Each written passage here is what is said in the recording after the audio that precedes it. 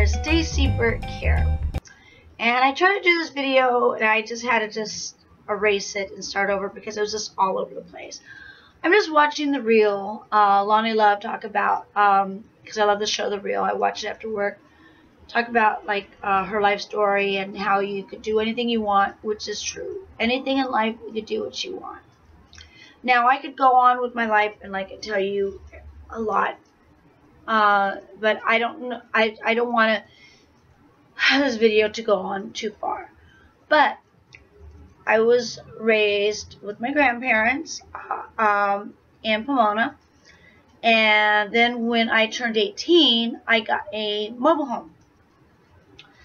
And I wanted, because I wanted a mobile home, because it had its own yard.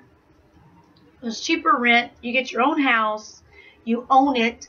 And my my thing my thinking was I was going to fix it up and when I sell it I use a down payment on a house. That was my thought. You know. Of course, mobile homes, you know, when you buy them, they need a lot of upkeep and work. And I tried to do it, but anyway, when it came down to it, no, basically I just sold it at cost. Like I made nothing. You don't, in fact, was at a loss. But I sold my ex-boyfriend uh, for like three grand. but I, I, was living there for a long time, and I loved it. Don't get me wrong. I had my own yard. It was great. Although there were some problems that the the property manager was a little bit uh, racist and and and stuff, and he was not the coolest guy ever. He was pretty much a white supremacist dude, and you know me and my friends and my nationalities, many of them, he didn't really like me that much. But um, anyway, I lived there for the longest time. And I didn't think anything of it. And then I would watch like Baywatch and all these shows with the beach. And I'm like, God, I want to live at the beach. I want to live at the beach.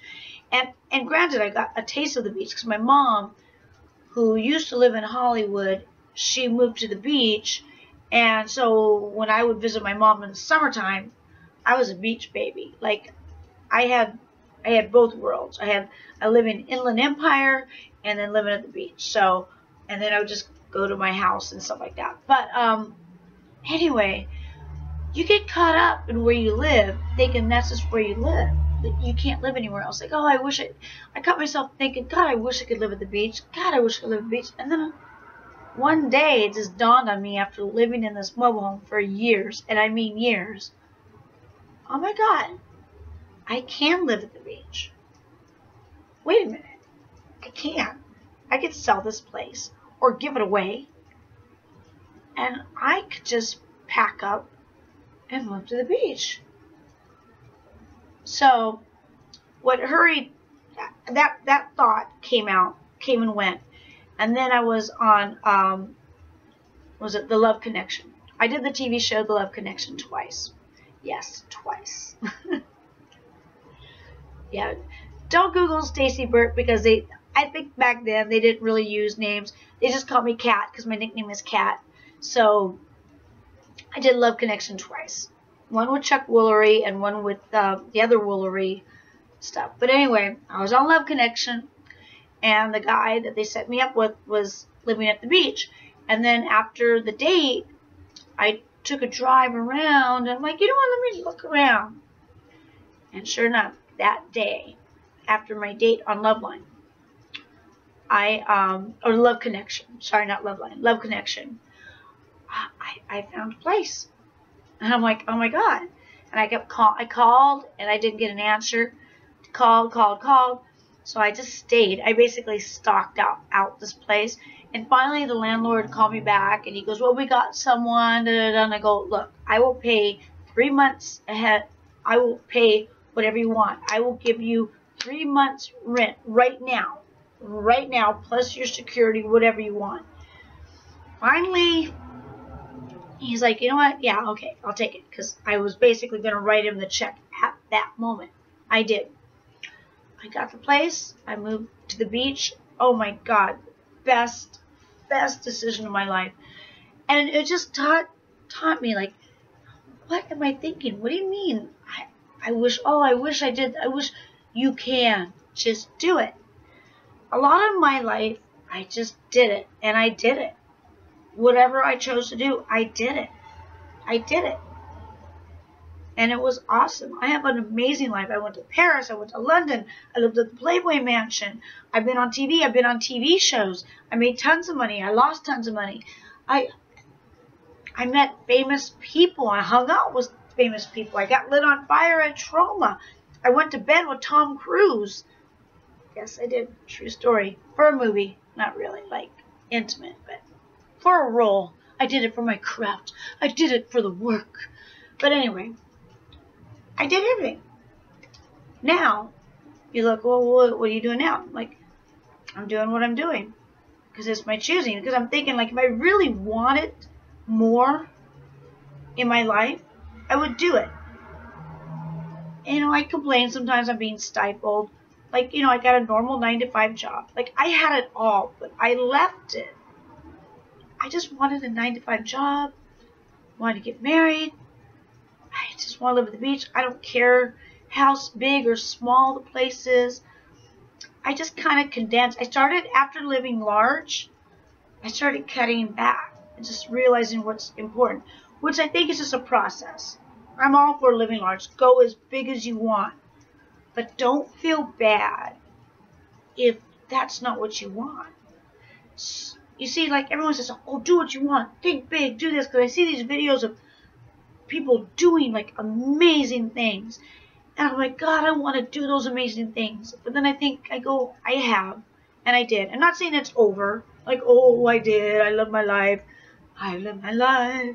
You know, I did it my way. No, I'm not done yet. I'm still going to do what I want to do. And trust me, I go through these moments where I feel stifled. Roy will tell you, like, there's something more in this world. There's more stuff in this world that I need to do. I don't know what. I'm kind of frustrated because I'm spinning my wheels. I feel like I'm spinning my wheels right now in mud.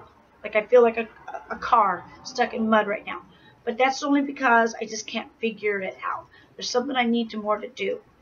But the focus of this video is don't get like intimidated or feel bad about yourself when you see all these people doing all these amazing things and you want to do them and you don't. Sometimes it's simple things. It's fine. It's amazing. Because some not everyone could do all these amazing things.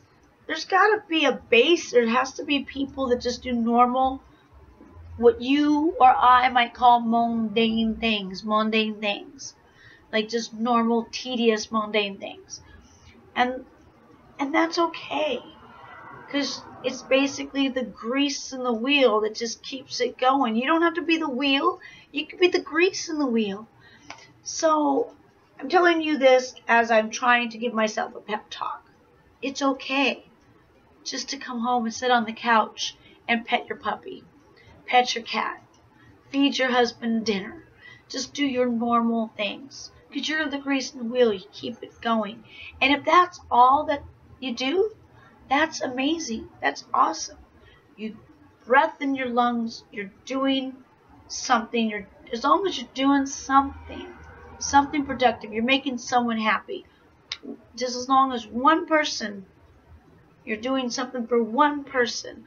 Or not really a person. It would be a soul. Because it could be a cat, a bird. I don't care. One soul. One soul. Even a plant. So maybe not a soul. One thing. If you're making one thing thrive and live and be a better thing than they were before you, if you're contributing to the world, that is awesome that is awesome. And it's good for your own psyche.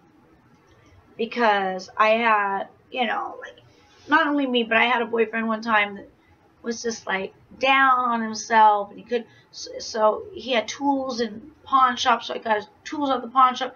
Like sometimes they just need to be dug, dug out because I would tell him because he wouldn't work. He wasn't working. Anyway it's a long story with this guy. Um you know that old story what's a musician without a girlfriend homeless. But anyway um i don't know if you know that joke. Uh, but i was telling him because he'd be like lazy and i go look even if you get a job at McDonald's, because he was like, oh, I need a job, but I don't want to work at McDonald's. I want to work at this. I go, I don't care what you get a job at. I don't care. Just having a job, any kind of job, even if it's volunteer work, anything, gives purpose to your life and you feel like you're contributing to the world. Just contribute something to the world. Even if you're homeless. Like, I know a lot of homeless people, yeah, they don't have a job. But you know what?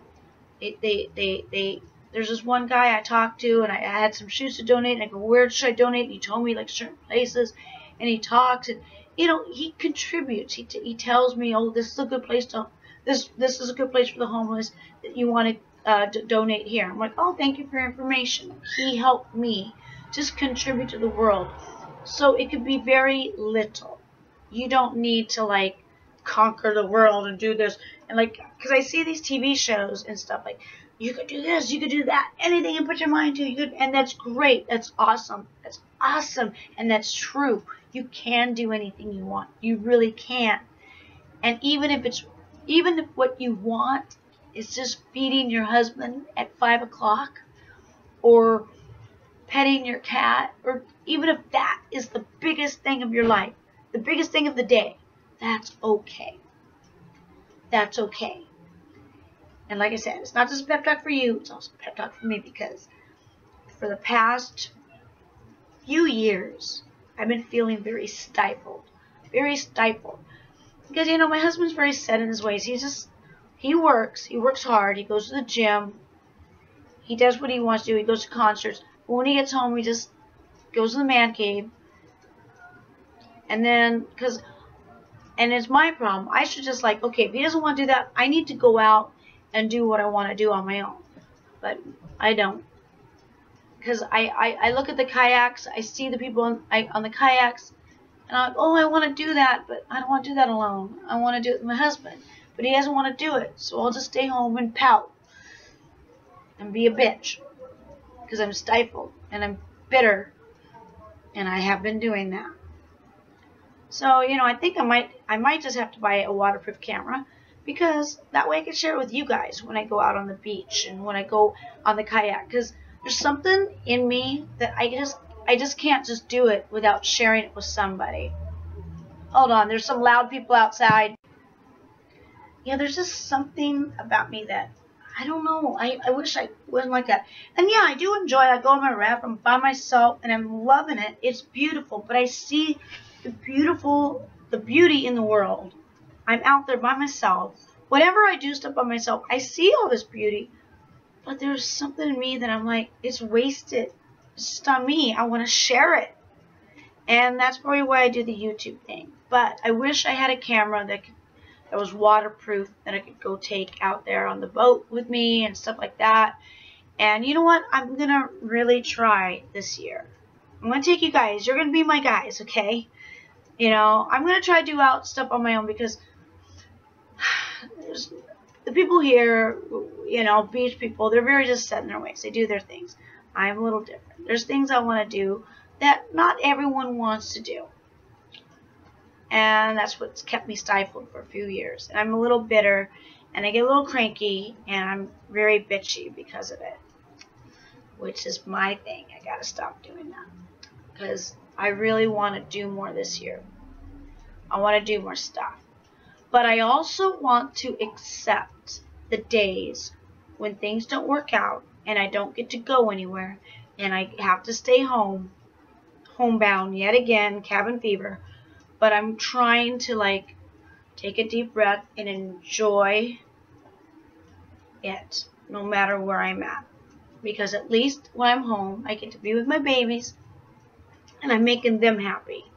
I'm making these beautiful souls happy. My little bird, Josephine Bear, my 18 year old cat, Frankie, the one that lives in the live in the bedroom. My 18 year old cat lives on the balcony, fenced in so Clyde doesn't get her. Frankie, scared of Clyde. Frankie's a little delicate flower, lives in the bedroom, fenced in so Clyde doesn't terrorize him.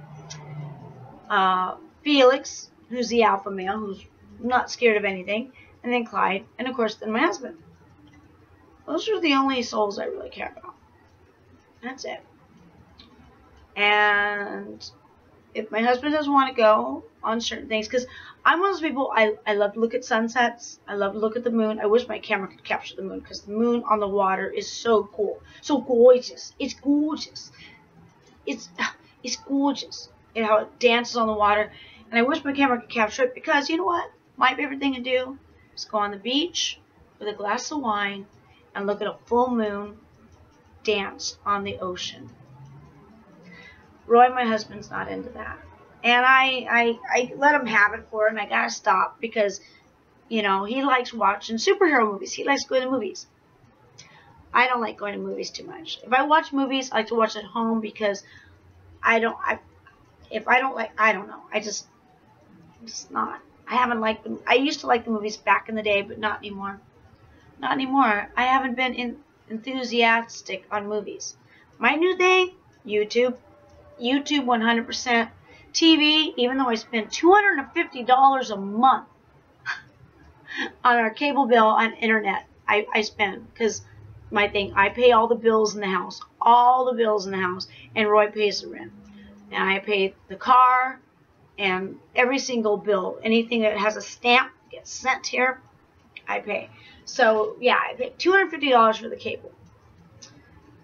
And uh, and there's nothing on TV. There's just nothing. But it's okay. I'm kind of glad. Although I do kind of miss those nights where me and Roy would kind of sit and watch TV and eat popcorn and talk. Those those were good. Those were good times. Maybe one of these days will happen because he just watches the same old movies over and over, and after a few times I can't. The only thing I can watch over and over is Sex and the City and I Love Lucy. Those are the only things I can watch over and over uh, and maybe like Better Off Dead, the movie Better Off Dead. Any John Cusack movies are always, always, always also good. But we just have different tastes. And he watched Dateline a lot. He watches Dateline a lot. It scares me. I'm a scared. I'm scared to drink Gatorade because is there antifreeze in it? Is he trying to learn something? I don't know. I don't know where this video really went. This is basically a pep talk. Like, look, don't get it down if you're not conquering the world every day. Conquer a little bit. Just wake up in the morning and just do something, whether it's for yourself or for someone else. For someone else would be nice. Doing something for someone else is also doing something for you, you as well. It's good for the psyche. Like I was telling my ex-boyfriend when he wouldn't get a job, I go, getting a job it's not just about money. It's just you feel like you contribute to the world. It just it just cleanses your soul and you just feel productive and you feel better. And then once you get productive, you can you do more things. Like the body that stays in motion stays in motion. The body that stays at rest stays at rest. So you want to get the wheels turning. You want to get the wheels turning where you're going something, doing something. But don't let it get you down if you're not like winning Emmys or you know climbing Mount Everest. You don't have to. It's okay just to, if all you do is wake up, smile, say hello to somebody, and then go back to bed. That's good job. Because he did something. He said hello to someone. He did some kind of interaction. Just something. Just do something. So, so I guess it's kind of like a pep talk, but like a I don't know, like on the down low. It's on the down low pep talk. In other words, you're good. You're good. As long as your intentions are good. Now, if you're evil, then fuck you. You're evil, fuck you. Don't like you. Alright. Well, I hope everyone's having a groovy day. Clyde is.